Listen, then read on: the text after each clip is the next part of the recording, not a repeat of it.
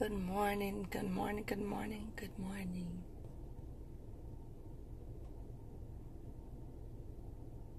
I don't know if anybody's going to join me. Y'all know the routine.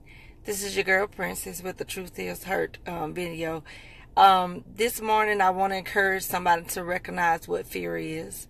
Uh, a lot of times, um, when we start getting these jittery feelings and start speaking negative, we are um, afraid of something. And so, uh, when certain situations arise, um, watch how you respond to it and acknowledge what it really is. Um, a lot of people call it complaining. Some people call it uh, grumbling. Um, different things. But let me give you a situation. If you have something due, hey Taranika, if you have something um due, you know, there's a bill or something like that, and then you see one of the videos and they we telling you to trust God and all that stuff, and then you go to, you know, like I don't know if he gonna do. I don't know about this last time, blah blah. Well, when the, the, root of that is that you're afraid. You're afraid that God is not going to do it. And so what we tend to do is speak negative when we think that God is not going to do something. Uh, or when we think something not to work out because last time.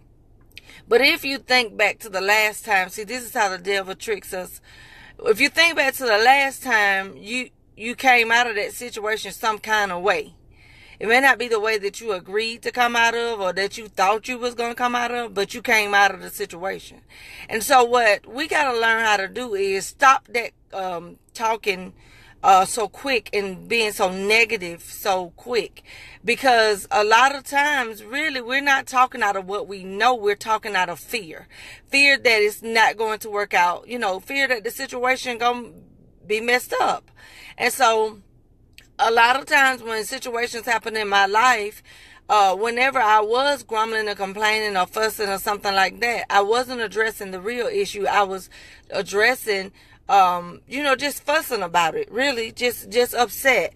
And so I would say crazy stuff like, Lord, you know, why I got to keep going through this kind of stuff? Why I got to be whatever. But if you trust God, then you can go through anything. And that's the truth. Thank you. Thank you, Tara Nick. I appreciate you. Okay. I will do that. Um, but you know, sometimes we get nervous. You know, we nervous about situations. And so, uh, when we get nervous about it, we go to fussing and barking. That's what we do. But I just dare some of you to try praising him. I'm serious. Try praising him before you start that complaining and fussing and stuff. Because again, a lot of that is stemmed from fear. You don't think God is going to do something. You don't, you're not sure. And so you get the word about it, and instead of praising about it, you start complaining about it. You start fussing about it. You start trying to look at it from uh, the wrong point of view, the wrong way. And so you talk, and, and when you talk, you got to be careful because you are anointed, uh, an anointed child of God. You got to be careful what come out that mouth. I'm telling you, because you can kill something before it even uh, is born good. You can, or raised up. You can you can uh, shoot down an idea that God is uh, planting inside of your head because you already done put all these negative thoughts in there. And really those negative thoughts only become, be, uh, only come because of fear.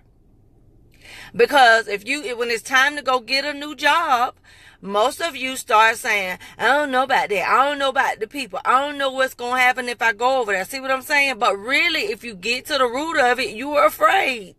You're afraid if you go over there, you might not like the people. Address the fear. Recognize what it is. And don't let fear talk you out of your blessings. Don't let it do it. I know uh, the other day there was somebody that was telling me, I've always wanted to write a book. And I said, well, why don't you write one? I don't know. You know, you don't never know if people gonna like it. You don't never know if, you know, people are going to, uh, accept it. You don't never know. Well, honey, you ain't gonna never know a lot of stuff. That's the way this life set up. You ain't gonna know a whole bunch of stuff.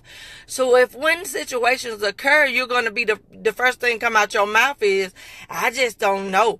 Well, you, you, okay, we glad you don't you don't know. Good morning, Vicky. But stop worrying about things and recognize what it really is. A lot of you fear stuff. Really. The only reason why you're grumbling and complaining about it is because you already think God is not going to do it. You already have some thought in your mind that it's not going to work out for your good.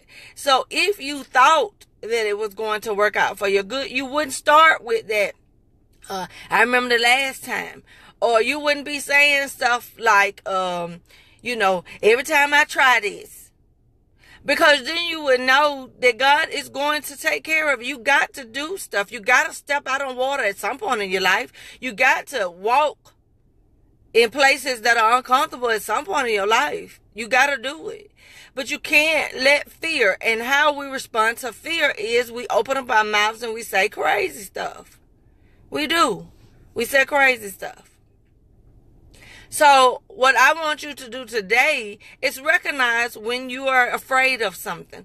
Recognize when you're uncomfortable. Recognize that and catch your mouth, catch your words, catch your uh, thoughts, catch them. And then say, God has not given me the spirit of fear, but of sound mind. Meaning I'm clear on this. I'm going to walk on water. I'm going to climb the mountain. I'm going to walk in the valley so that God can take me to the mountain. You know what I'm saying? I'm going to go through this situation so that God can get me to the other side. The journey don't always, you don't get to walk all the time through roses and stuff. You don't get to smell um the the roses like they say all the time. Sometimes you gotta walk and deal with them thorns on that rose bush. You gotta deal with them. But don't be talking about Last time, you know, I picked up the rose, I got pricked. Last time I got cut. Last time I tried to give somebody a chance or whatever, well, that could be the person that's going to take you to the next level, walking around here in fear. And we think that we're speaking something over ourselves. We think that we're protecting ourselves. The only true protection you're going to have, hold on, let me get Tara Nick. The only true protection you're going to have is God.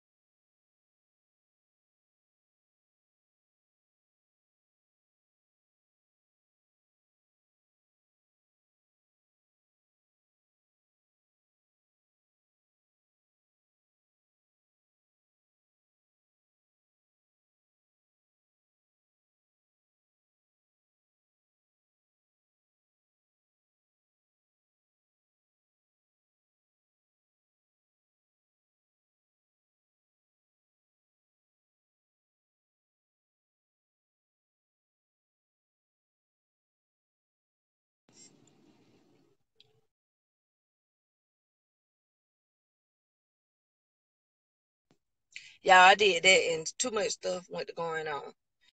But anyway, you gotta, like I said, have faith in God, and you gotta stop this, and you have to catch yourself. Recognize when you're afraid. It's okay to be afraid. You know what I tell the Lord when I get ready to go in different situations? I say, Lord, I'm afraid. See how simple that is? I'm scared.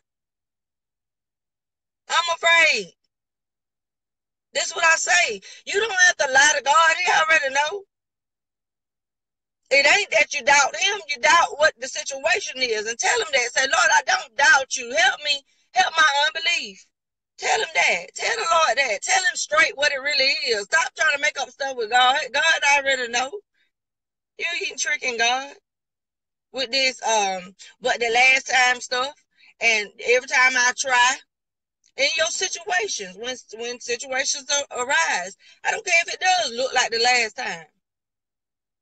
God works stuff out in different ways. Send different kind of people. I'm serious. So watch and recognize what fear does to you. When you fear, what do you do? How do you respond to things that are uncomfortable to you? That's what you need to recognize. And the reason why you need to recognize it because you're getting ready to talk yourself out of a blessing if you do what most people do when they fear. And that is to speak normal. You gotta speak the thing. You gotta walk in there sometimes. You really you can't be scared. Hey Commandant, how you doing? You know what I'm saying? We we respond in ugly ways to fear. And we start blaming everybody except for the situation. We start looking at that was my good morning text or my thanks beautiful text. Um but we start trying to um deal with it another way. Like for instance, when you go to the doctor, and then I'm getting ready to close, but when you go to the doctor, most of y'all don't want to go to the doctor because you fear what the doctor is going to say. Might not even be ready to tell you nothing. You know what I'm saying? Might just say, ma'am or sir, you got a cold. But because you fear it, so this what you start doing. They gonna give me all that medicine. I got to take all that stuff. All that stuff gonna get inside of me. I ain't gonna be able to work. I ain't gonna be able to. You are so right because you are anointed child of God, and everything come out that mouth is gonna become true. Yes, ma'am, and yes, sir. So yes, uh, you are so right. And you wonder why your situations don't work out sometimes because you be done spoke it out of a good thing. You be done talk yourself out of something good because you already, because of fear, start saying what's going to happen. You don't know. But if you serve the Almighty God, let me tell you what I do know. What I do know is that you're going to have to go through some uncomfortable situations and you're going to have to go in some dark places and you're a light, so you shouldn't be afraid. You're, you're supposed to be a light. And so lights are no good in a room unless we're trying to make uh, extra uh, power. Like, like we need to use it when we're trying to go somewhere and make some influence when a whole bunch of light comes in. But we are good in dark areas. We are good because we are the light. We are the light. So we don't have to fear. We don't have to worry. We don't have to uh, be talking crazy and talking ourselves out of stuff. So y'all don't do that tonight today. Recognize what fear is. Recognize it and call it for what it is. Tell the Lord exactly what you feel because he's not stupid. He is, he already know. Say what it really is. Lord, I'm afraid. I'm I'm scared. I'm scared to try this new job. I'm scared to talk to these people. I'm scared to go in this place. I'm afraid, God and let him work on what really is going on and stop all that talking crazy because you're talking yourself out of stuff. You talk, you're speaking over your life. You are influencing the direction of your path with that talking because most of the time, if you talk negative, you're not going to do anything that's going to change the situation. If you already got in your mind, so get your mind right. Talk to God Tell him exactly what it is you're dealing with, but recognize fear. A lot of this stuff we deal with today is because of fear. God did not give you the spirit of fear. He did not give you the spirit of fear. You cast that mess back to hell and tell the devil you will see him on the next go round and you'll be ready for it.